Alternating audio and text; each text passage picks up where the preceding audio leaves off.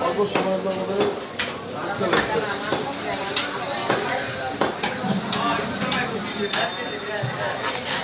যে জেনার পরে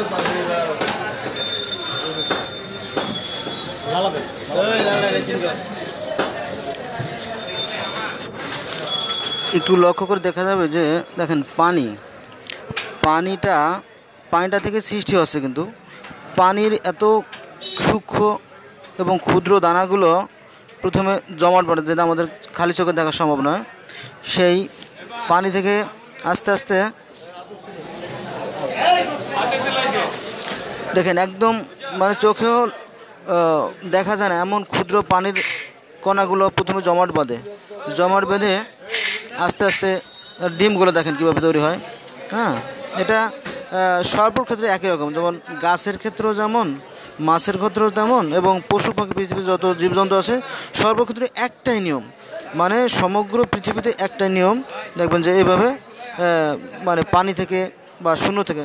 গাছে পানি আসবে থেকে গাছে পানি আসে না সত্য, কিন্তু আপনার গাছের মুকুলগুলোতে দেখবেন যে পানিগুলো আসে।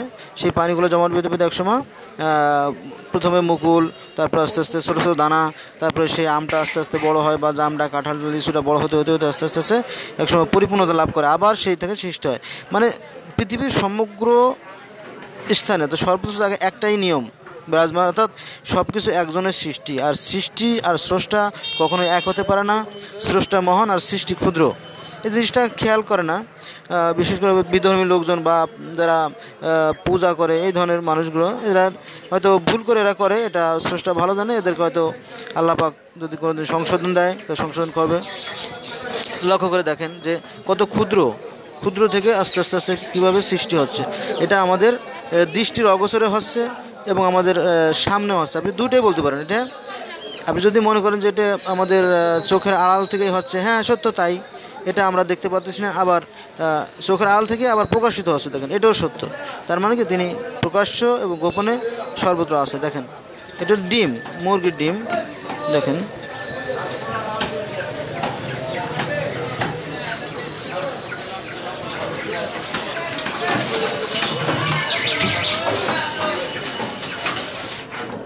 এই ডিমটা এখনও ইসের মতো রয়ে গেছে, নাড়ির মতো রয়ে গেছে এটা পরিপূর্ণ একটা ডিম, হয়তো মুরগিটা বেশ থাকলে এটা বাচ্চা দিত আর মুরগির নাড়ি আমরা জানি আর কি।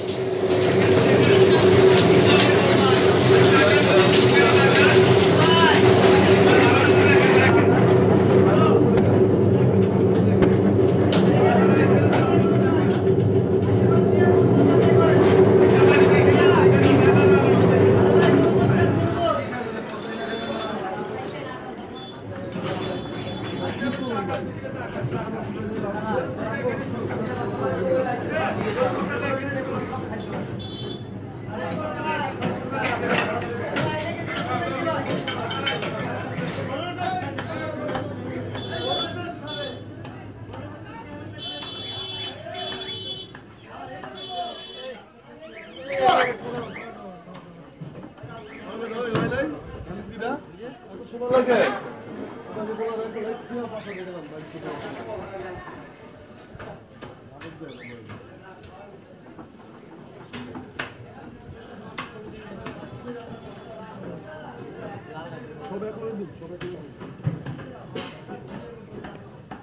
আমার অনেক কি করতে বলতাম না এই আমি আপনারা কিনে লাভ